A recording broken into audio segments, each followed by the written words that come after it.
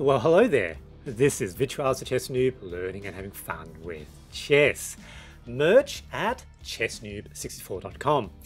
Now, I played this game recently, and when I discovered afterwards that the opening that my opponent played was known as the whale variation, I knew that I had to put it on my channel. Let's go take a look at this opening. Now, I've got the black pieces, and my opponent leads with the English opening. c4, perfectly good. Uh, against that, I usually play e5 and now e4. So that arrangement is the whale. Rise now, ye white whale. Show us your crooked jaw. Show us your wrinkled brow. Rise. The birds. The birds! He rises!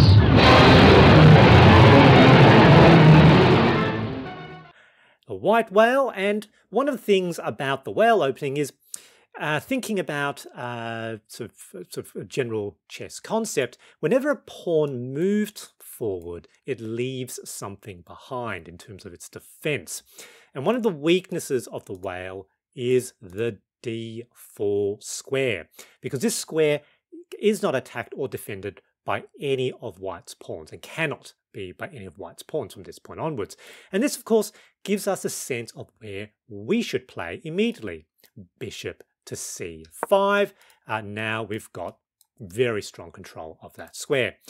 Now, from this point onwards, the opening actually plays pretty normally. So knight f3, knight c6, bishop e2, I develop the other knight, they now push d3, I play d6, and now they short castle. So they castle fairly quickly on move 6. Everything here is basically okay, pretty much close to 0, 0, 0. Now, what am I going to do here? Now, one of the things about the white whale, uh, you know, uh, with Moby Dick, is that it's a tale about revenge. And I did feel a little bit vengeful against my opponent here. This was actually the second game we played. The first came at almost 80 moves, and at the end of those 80 moves, I lost the game. Basically, I screwed up the uh, the end game. So I kind of wanted a win in this one. Given that my opponent has castle kingside so early, strategically, I've got a very clear idea of what I want to do. Basically, I want to immediately launch an attack on white's king on the king side, move all my pieces towards the king side to launch a massive attack. They're not attacking me at the moment, so tactically I might delay. Uh, I might delay castling. I might potentially try to push these pawns up. I'm going to try to rotate uh, these pieces towards the king side. And I'm going to get want to get rid of this knight, which of course defends the h2 pawn. So here I play my first somewhat provocative move. Knight forward to d4. Now you can see Stockfish reckons that sort of developing the other bishop first might be better. But basically here, white should take, and I basically get rid of one of their defensive pieces. They do that, captures, captures, and now I've got my bishop in a very nice position, sort of looking at the f-pawn, of course pinned to their king. Uh, now they develop another knight, that's fine, it's on kind of the wrong side, I suppose they should develop uh, that side. I now decide to play c6, and basically you can see two intervening squares between the knight, which means the knight can't really move forward in this direction. So I was pretty happy with that. They um, developed their other bishop wanting to trade. That's fine. I would prefer that they take it this way. So I capture here uh, with, uh, with an attack on the knight. And given they can't move forward, potentially with some tempo. So let's now push h5. You can see Stockfish reckons taking this way is better, allowing white to open up this uh, open up their f file but doubling their pawns i didn't really want them to open up their f file actually so h5 and here potentially you know i've got um, some defense of that g4 square, which is what I wanted. So they take, that's fine. Captures, I don't mind that that's doubled because I win some tempo. Knight forced to undevelop, very, very good. And now knight jumps forward. You can get, again see Stockfish doesn't entirely believe in its attack. They do agree with attacking on the king side with g5, but here I was expecting that they're going to see this, you know, they don't want to take, but oh, let's let's push a pawn in, and that's what they did. H3. And here I've got queen to h4, allowing that capture, potentially sacrificing the knight, and that is rated a brilliant move. Because the idea here is, is if they take this way, I then open up my H file, the rook and queen are in a battery, attacking down the H file is extremely powerful. Now here, white thinks for a bit, then they take it this way, that's fine. I still get to open up the H file.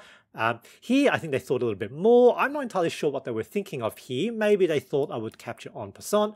But, you know, en passant's not a force move. You know, it's not chaos chess. And now, take. Basically opening things up. Uh, they try to bring the queen.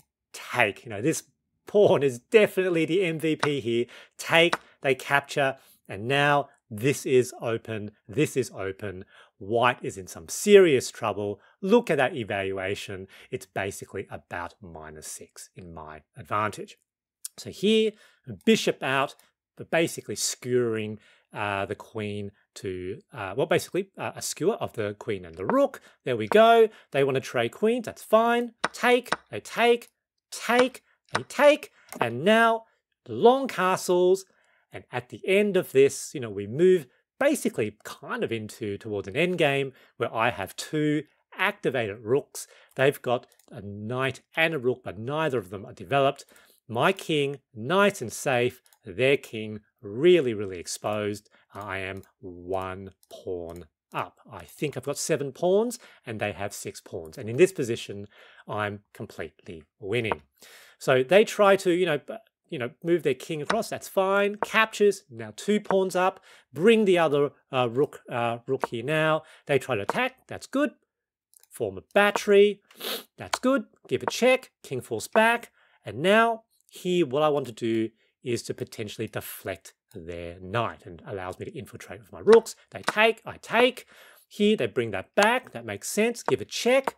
Now here, wanting to take, and here, White's actually playing fairly accurately. They're playing pretty well. I think what they saw was potentially if they can get their knight here, they've got a fork of my two rooks. That's really, really clever. So they push that pawn, and I think they thought if I take, they've got that fork. But I saw that. It's not a problem. It's not a problem because I've got checks. So here, captures, captures, check. So they cannot take this way, and because my rook controls the entire uh, the entire rank, the king cannot move really forward. So they move in this direction, looking like they wanted to potentially attack that uh, that rook. However, that doesn't work because now I've got check. That's a pin, and here White decided to resign.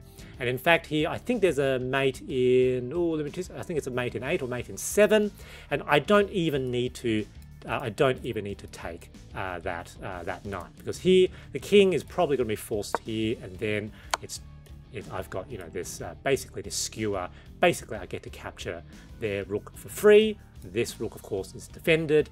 It's looking really bad for white. Good game, GG. Now I managed to get my revenge in this game, and the big takeaway is to keep the eye on the prize, the opponent's king.